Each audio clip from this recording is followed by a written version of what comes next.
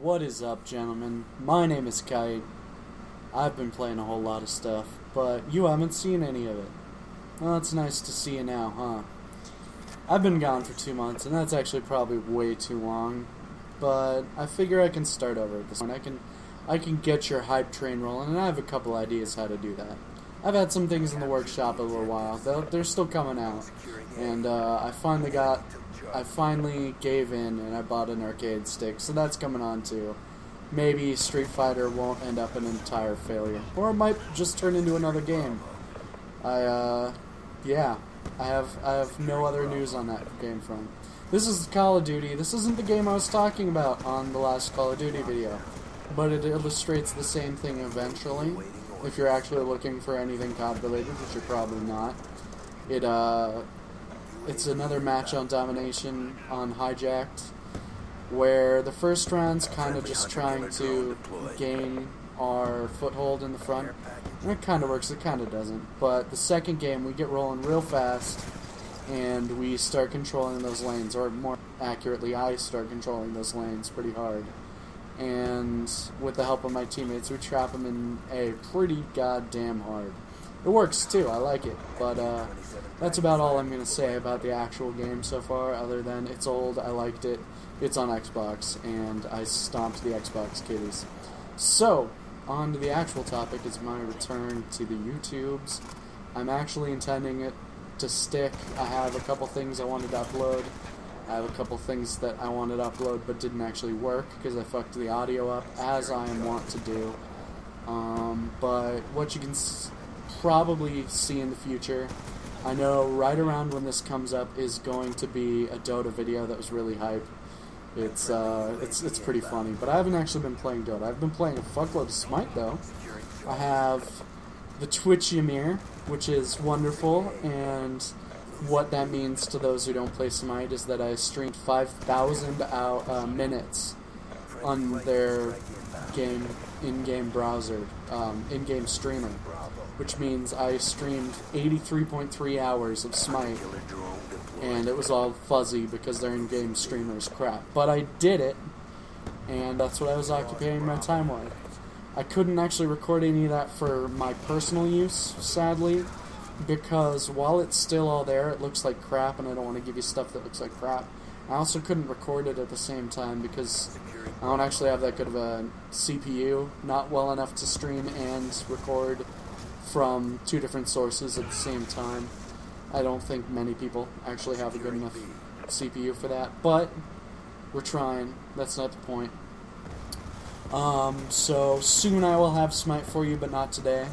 I tried and I messed up my audio for the first few recordings I actually got of it, so we'll try again. I play that a lot, so another thing that's going to come up is probably the fighting games. As soon as I get I my arcade stick arrives in a week. Supposedly it's going to arrive on the 14th, which means I can go in hard. I'm going to get Injustice and Persona 4 Arena to get into those mix because you know I gotta love the Persona.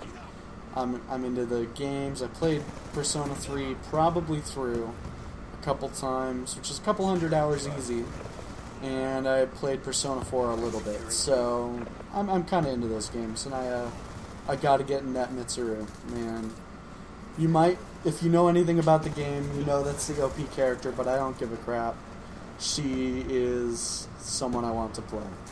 Straight up. I don't give a fuck. So that's going to be happening, and I'm going to try to start up another another project here.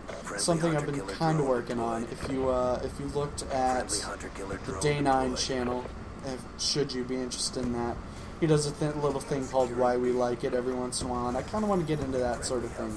I want to explore the mixture of writing and lore and game and why I like certain series because you know I don't actually play that much Halo anymore but I love the series for its its lore its background I would argue 100% that it has as deep if not more deep a backstory and world than Mass Effect that's how far I'd go with it. And you know Mass Effect. It's known for that sort of shit.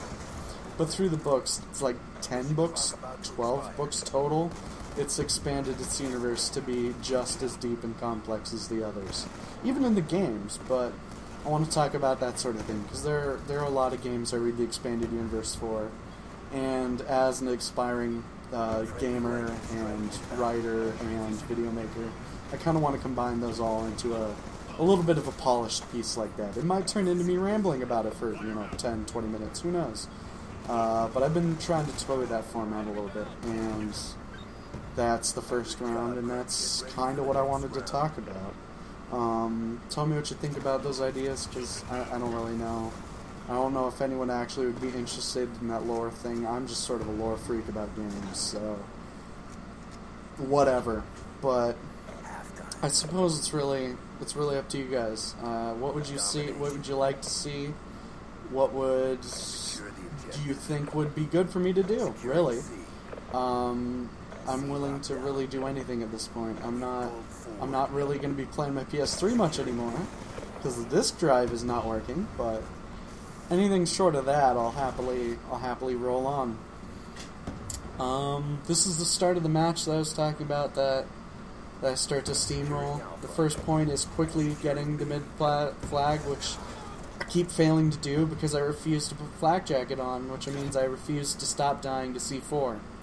So that's annoying as fuck. But eventually we get a hold of it and start just trucking on these fools, which is always fun. Uh, hmm, what else can I talk about? Sorry I've been gone so long, really. I, uh, I'm getting out of practice at this, obviously, because I used to be sort of able to fill 11 minutes just sort of talking about random shit, but um, I've gotten out of practice, as you can tell.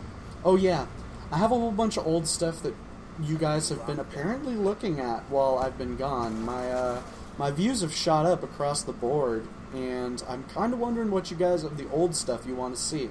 Because I still have like eight episodes of Borderlands that I haven't up- uploaded. We haven't really played it all, but I still have old eight old archived episodes of it that could catch us up if you're interested. I saw that you guys watched a blacklight video I did real quick, like 173 views on it, which blew my mind for a 30 second clip. But if you guys want to see more stuff like that, I'm happy to. I mean, really, I'm just looking for your feedback because I have all sorts of ideas, but unless you guys point me at one, I might not. I might dither around some of them and not really go to it. If you go to the thing that you guys really want to see. So, I don't know. It's all up to you. Well, it's not all up to you. It's all up to your ideas, and then it's all up to me. But I think I can take care of it. Um, yeah. GG. Um, here's the point where I was talking about. You see sort of where I'm hovering in this game? I'm talking about the gameplay. Look at that. You sort of hover back where I was standing, like those round corners there that you're seeing at the corners. If you if you sort of strafe back and forth in front of there, looking down the way, you can sort of get shots on everyone down the range, and they can't do anything because there's no real cover down there. They'll have to lay down, and you'll just sort of laugh at them as you kill them. You can also do it. I mean, people do that all the time, and it doesn't. It doesn't all the time, but it it catches me a good amount, and that's actually pretty effective. But uh, other than that, there's really no places to go except through the building. What you want to do is you want to have one person on this end, one person on the other end, and one watching the building. Then the only way they can really get out is to either fight through you, which is possible, but hard, because you're staring down at them with fully automatic weapons, or you could go around and through the underground passage. But for whatever reason, people don't actually think of that that much, and when they do, it's kind of obvious because suspiciously no one no one comes out anymore. You know what I mean? No one's coming out the door, so you know something's going up. So you go, you have someone go check the the back the back door, as it were. Also, it, it tends to be that if they go through the the underground, they come up and they try to capture C, and or A, depending on which side you're doing it. But C in this case, the seals start blinking, and you'll know what they're doing, and you can either reverse and go attack them and kill them before they attack C, before they actually capture C. Or you can just say, fuck it, go attack, capture A, and then they'll just be back in the same spot with no actual goal. Their, uh, their spawn will flip, but they'll be in the same trap, which is hilarious, I think.